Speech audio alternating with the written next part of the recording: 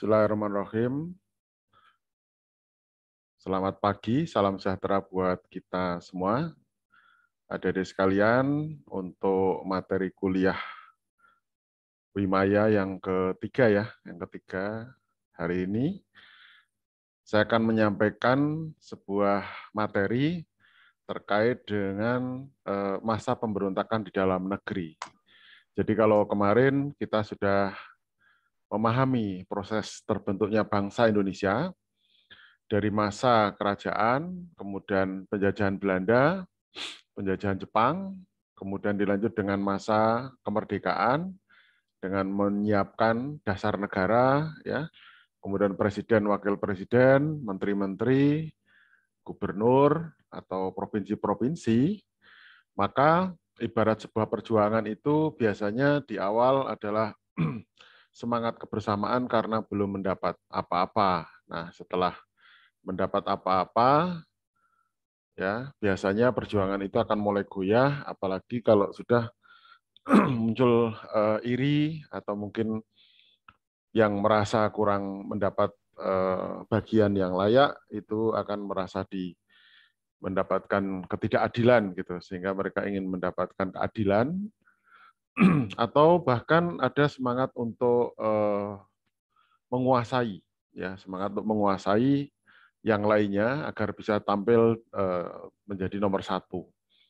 Jadi memang di dunia ini ada persaingan ya, baik di dalam rumah kita pun ada persaingan, di eh, apa namanya di kampung juga ada persaingan, di desa ada persaingan, di mana pun ada persaingan termasuk di dalam negara. Nah kali ini yang akan kita kupas adalah eh, persaingan dalam arti Eh, perebutan kekuasaan yang dilakukan terutama dengan aksi mengangkat senjata ya dengan cara kekerasan seperti itu.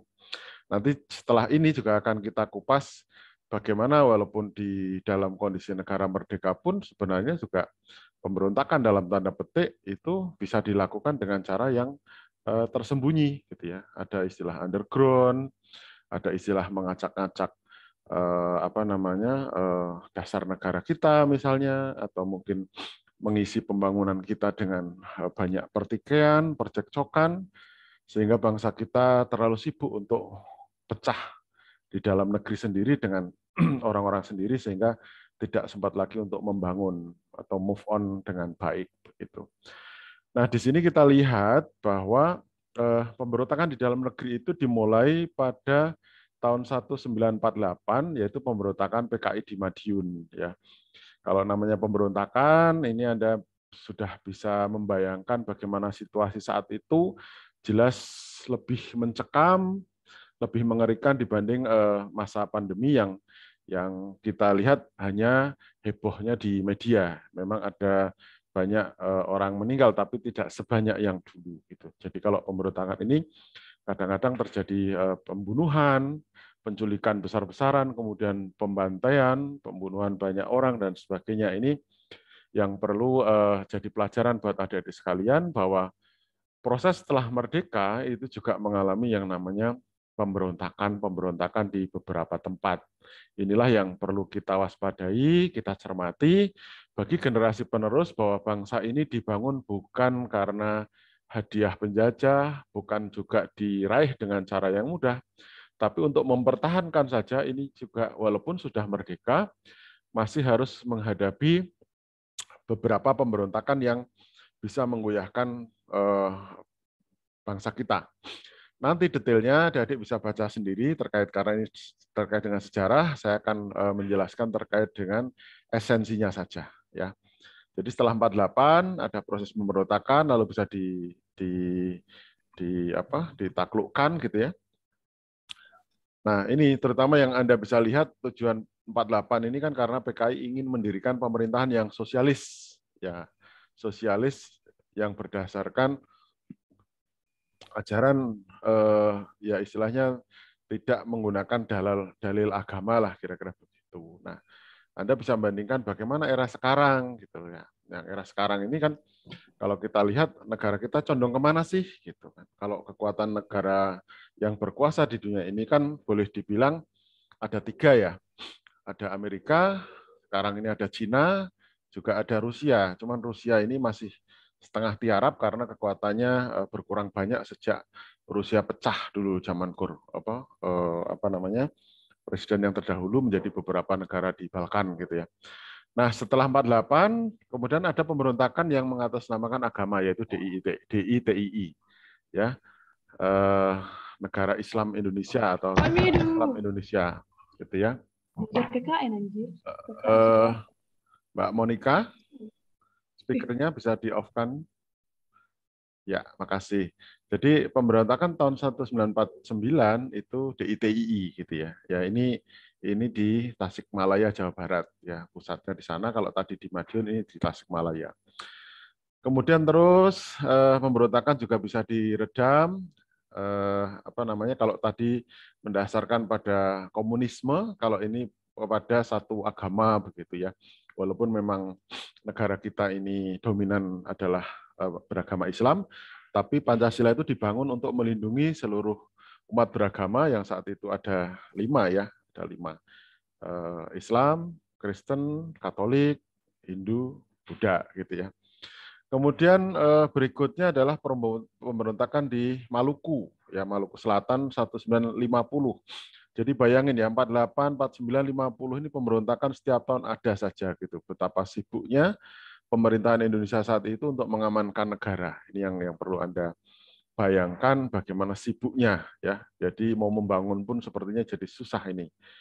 Ya, terus kemudian eh, ada lagi PRRI Permesta ya PRRI Permesta ya ini pemberontakan ini keterangan tahunnya setelah itu nah 61 ya 61 sekitar tahun 61 oke terus kemudian ada pemberontakan G30 SPKI ini yang paling heboh karena di situ ada kalau Anda lihat kemarin bahwa DNA Aidit ini kan sebenarnya masuk apa kemarin menteri ya kalau nggak salah ya ini eh, ternyata juga itu tadi. Jadi ketika ada proses awal, satu tujuan gitu ya, di perjalanan mungkin ada perbedaan prinsip sehingga seperti itu.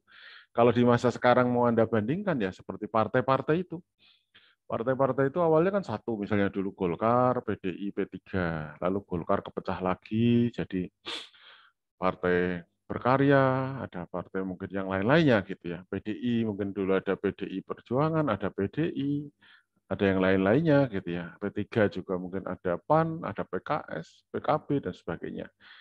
Nah, pemberontakan eh, tahun 65 ini yang yang cukup dikenang eh, karena ini akan eh, waktu itu ada konsep sebenarnya ingin menyatukan nasionalis, agama dan komunis dalam rangka merukunkan tiga tiga blok gitu ya.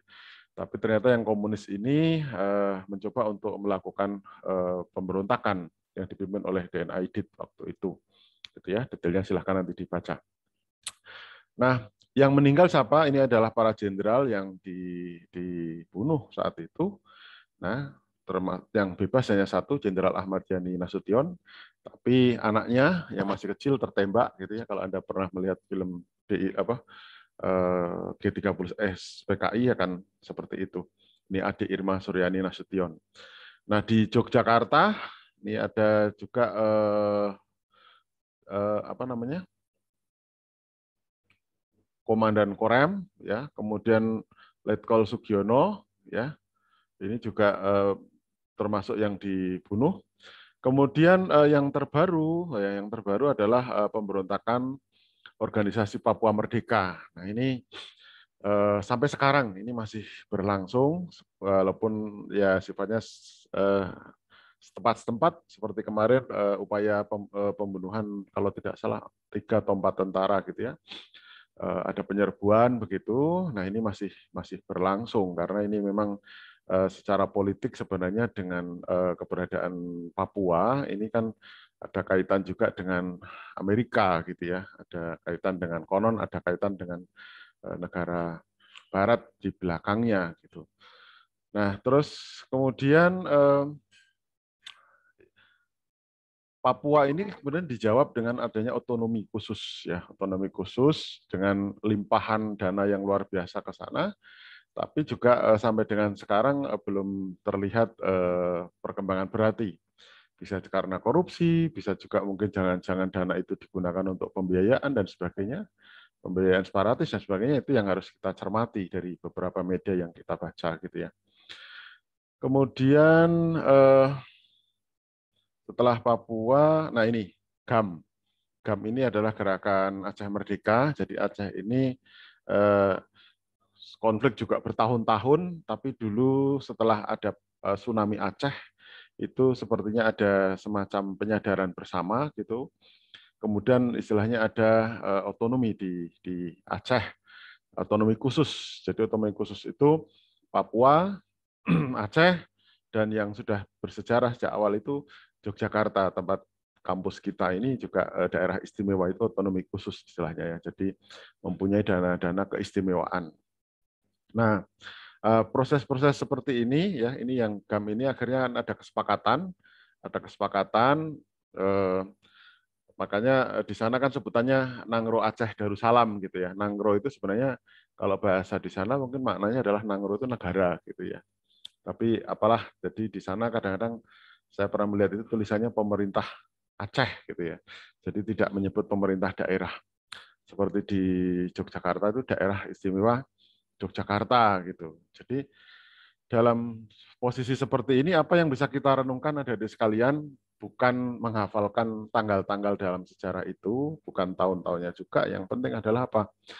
Bahwa mendirikan negara ini yang kita sebut bahwa Indonesia ini eh, kalau dalam ceramah Gus Muafik itu ya, bangsa Indonesia itu perlu berbangga karena kita itu terdiri dari puluhan suku bangsa, banyak agama, pulau-pulaunya saja ada 17.000 mampu bersatu menjadi satu kesatuan negara Republik Indonesia. Bandingkan di negara Afrika atau di Arab misalnya, satu bangsa terdiri di banyak negara. Di Eropa pun satu bangsa ya, awalnya bangsa Arya di sana itu berkulit putih itu terdiri juga dari banyak negara. Nah, kita ini satu-satunya banyak bangsa yang tergabung menjadi satu negara ya kalau Malaysia aja katakanlah itu eh, mungkin Melayu gitu ya.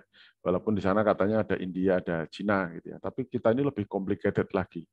Ada Jawa Jawa aja macam-macam Jawa Timur Jawa Barat Sunda gitu ya. Teman-teman di Sunda di Jakarta Banten itu kalau menyebut orang pulang ke Semarang pulang ke Jawa Timur eh lo pulang ke Jawa ya gitu. Padahal yang nanya juga sedang berada di Pulau Jawa. Gitu. Jadi ada keunikan-keunikan tersendiri di kita.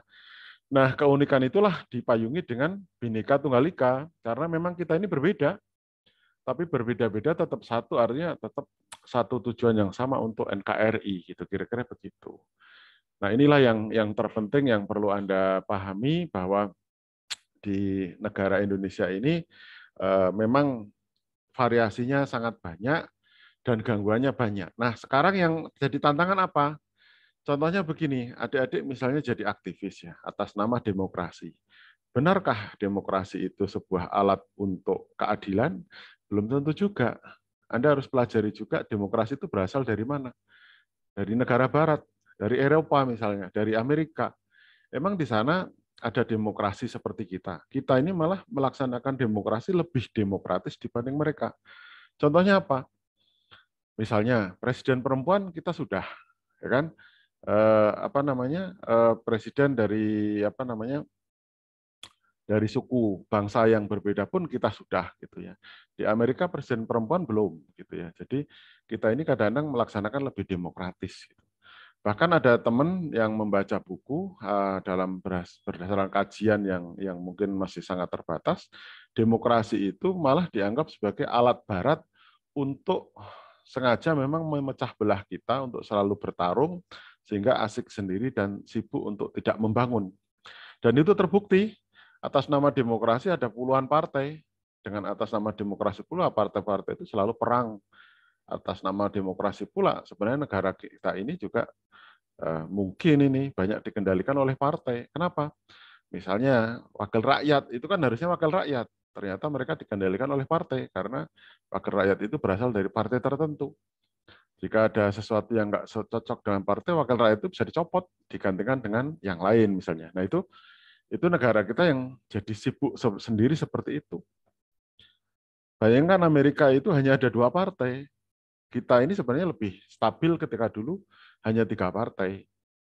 Ya misalnya ada korupsi, ada apa itu nggak banyak. Nah sekarang kalau partainya ada dua puluhan dan semuanya korupsi, kebayang nggak betapa banyak eh, apa namanya uang rakyat yang kemudian dihabiskan ke arah sana kan gitu. Nah ini eh, kuliah pagi ini silakan yang mau bertanya, monggo. Ayo. Silahkan. Termasuk tantangannya bagi Anda, adik sekalian. Anda di UPN gitu. Korsa itu ya satu UPN, bukan Korsa fakultas, bukan Korsa jurusan. Jadi Anda nanti kalau aktif masuk kampus ya jangan sampai terdengar berita memalukan. Oh, si jurusan A berantem dengan jurusan B itu kan memalukan. Karena korsa atau kekompakan kita itu bukan untuk berantem gitu, tapi untuk menunjukkan prestasi bahwa anak-anak UPN itu mampu bersaing, berkiprah di minimal tuh di era regional, minimal di Jogja.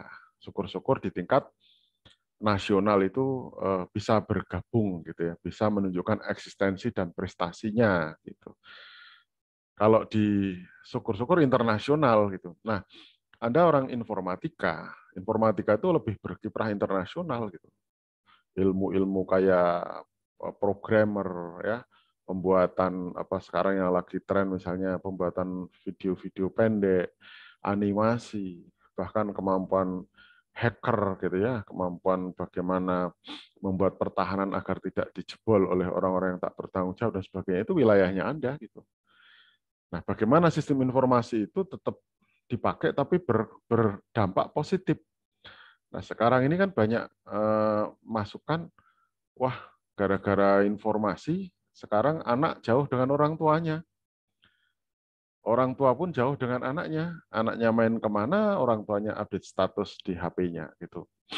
Atau Anda berada di rumah, tapi Anda senang, mengunci diri di kamar online dengan teman-teman di mana pun tapi Anda jarang berinteraksi, ngobrol empat mata dengan orang tuamu. Itu juga hal-hal yang harus dikoreksi, harus diperbaiki. Karena apa? Mumpung masih punya orang tua yang lengkap, gunakan waktu sebaik-baiknya Anda untuk bisa berdialog dengan baik. Nanti kalau kampus ini sudah aktif ya, Anda mungkin ngekos di Jogja bagi yang luar Jawa, mungkin ketemunya orang tua nggak bisa seintensif sekarang gitu. Gunakan waktu sebaik mungkin agar bisa berkomunikasi, bercengkrama ya dari hati ke hati.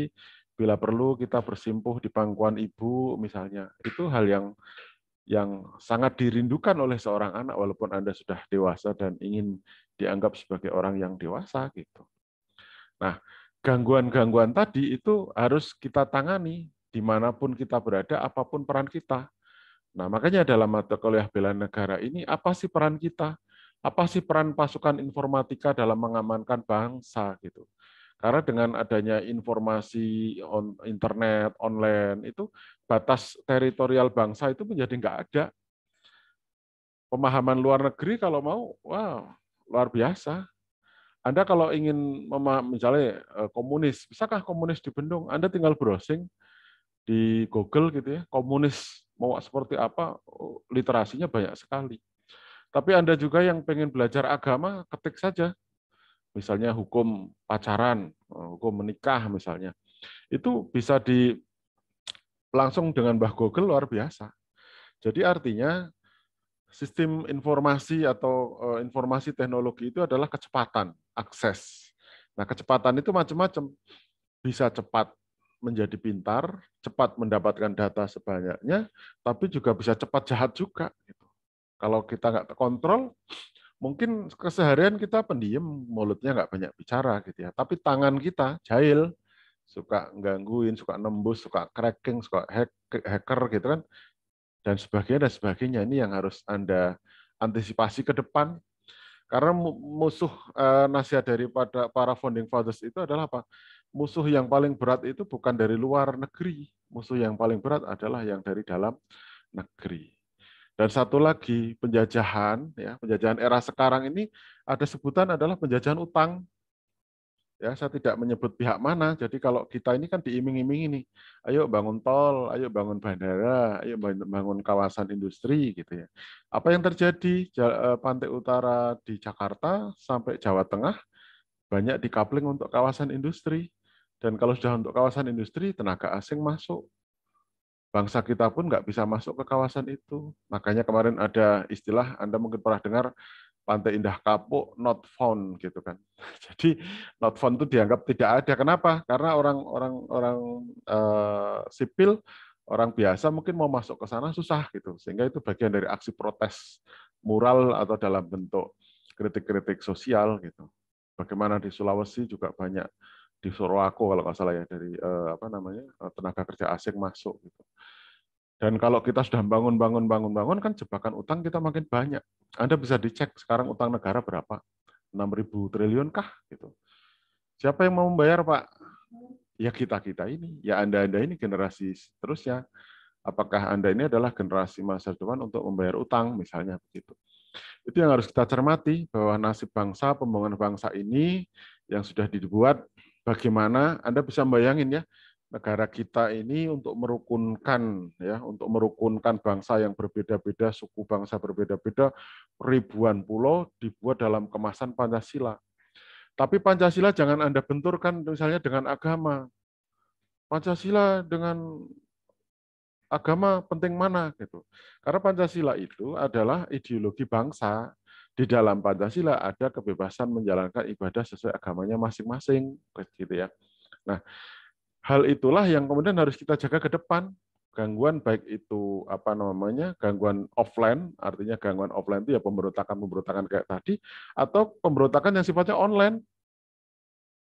Online ini juga harus kita tangani bersama.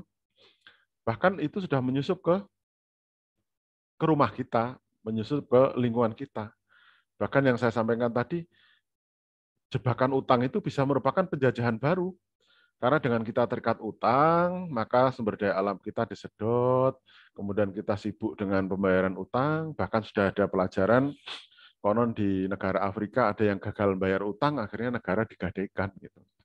Jadi apakah mau seperti itu? Itu kan sangat sangat mengerikan masa depan kita semua gitu ya. Anda bisa memahami ini ya, bisa memahami bahwa pemberontakan itu tidak melulu kita belajar oh tadi ada DIDI, PRS, Power Mesta atau PKI atau GAM atau eh, OPM gitu. Nggak nggak sesimpel itu gitu.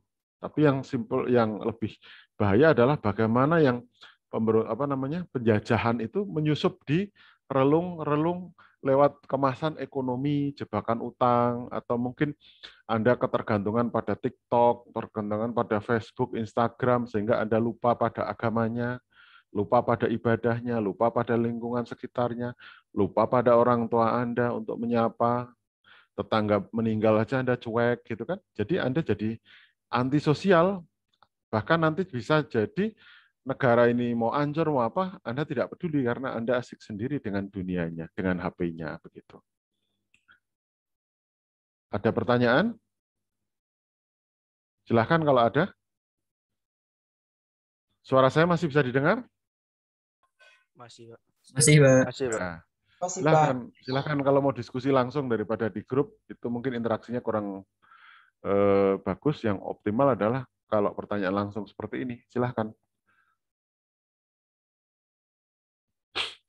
Anda bisa memulai dari Anda ini bisa apa gitu kan. Oh ya Pak, saya ingin belajar informatika. Ya, informatika kan luas nih. Ahli apa? Ahli website, ahli membuat desain poster, ahli potong-potong video, ahli membuat animasi, ahli membuat program, ya kayak di kasir-kasir Alfamart, Indomart, apotek itu kan itu kadang-kadang sudah terprogram kan itu buatan Anda kan begitu.